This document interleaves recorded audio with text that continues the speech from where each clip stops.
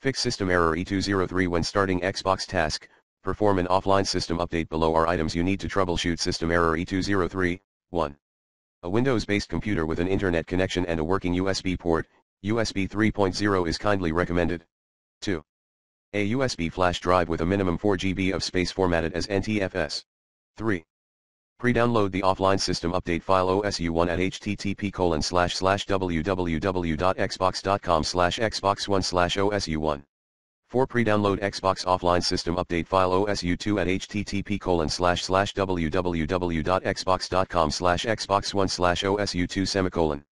Note, if the above method fails to help you out, you need to reset and restore your device, even repair your machine in time. Now, try performing an offline system update following the below steps. 1. Plug your USB flash drive into a USB port on your computer. 2. Download, using Internet Download Manager is recommended, on your Windows, and unzip and run open the offline system update file OSU1 at http colon slash slash www.xbox.com slash xbox1 slash OSU1.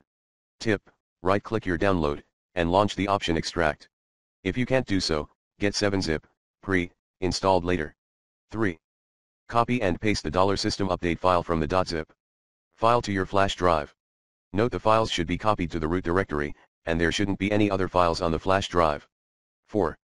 Properly remove the above USB flash drive from your computer. And, now, try performing an offline system update. Note, you need the help of Xbox Startup Troubleshooter. Follow the steps below. Power off your console completely by removing power cord. Wait 30 seconds, and re-add the power cord. Press and hold the bind button and the eject button, and press the Xbox button in the same time. Continue pressing the bind and eject buttons for 10 to 15 seconds. If you hear two power-up tones, then you release the bind and eject buttons after the second power-up tone. The console should power up and take you directly to the Xbox Startup Troubleshooter. Now, plug in the USB drive that contains the offline system update file OSU1 you downloaded. Then, choose the above offline system update option. Follow the on-screen info and wizards to complete the ungrade process. For instance, you need to get your console restarted several minutes. If the above steps do not work, reset your console without erasing your games and apps. To do that, press the D-pad and the A button on your controller and then, choose Reset this Xbox. When that dialog box shows up, select Keep Games and Apps. Not worked? Restore your console to factory defaults, repeat the above steps to bring Xbox Startup Troubleshooter back. Press the D-pad and A button on your controller and select Reset this Xbox. Finally, select Reset and remove everything.